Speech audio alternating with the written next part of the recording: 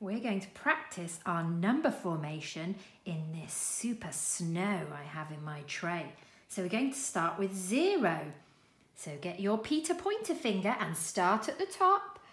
Around and around we go, and when we get home we have a zero. Did you do it? Should we have another try? Let's do number one this time. So we start at the top again. Number one is like a stick, a straight line that is very quick.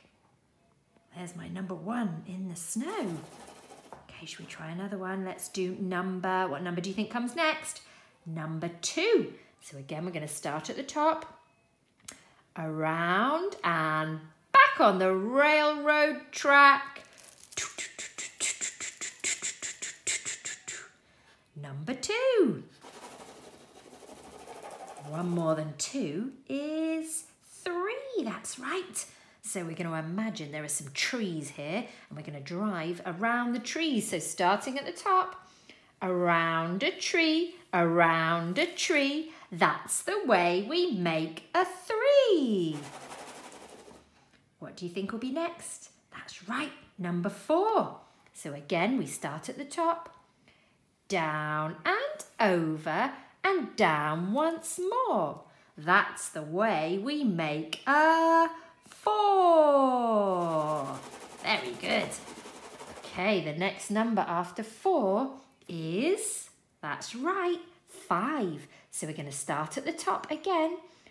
Straight line down, then around, hat on top, and five's a clown. Because clowns wear hats, don't they? Five is a very tricky one with its big fat tummy there. The next number we're going to practice is the next number after five, one more than five, it's number six. So we're going to start at the top, make a curve, then make a loop. There are no tricks to make a six. Oh, I like doing that one. That was nice and easy, that one. Okay, one more than six is seven. So starting here at the top, across the sky and down from heaven. That's the way we make a seven. Fantastic. Okay, the number that comes after seven is eight. Well done. So starting at the top. Now I know you have all been learning letter S that makes a S sound. Make an S and do not wait. Go back up and that's an eight. So you should be really good at that if you're good at your letter S. Okay, after eight, the number after eight is number nine. So I'm going to start here. A loop and then a line. Well, that makes a nine. Did you get it right? Did you do that too? Okay, the last one. I bet nobody knows what one more than nine is. Well done, it's 10, isn't it? Now, we know the numbers, but can we write them? This one is two digits, so we have to write two numerals.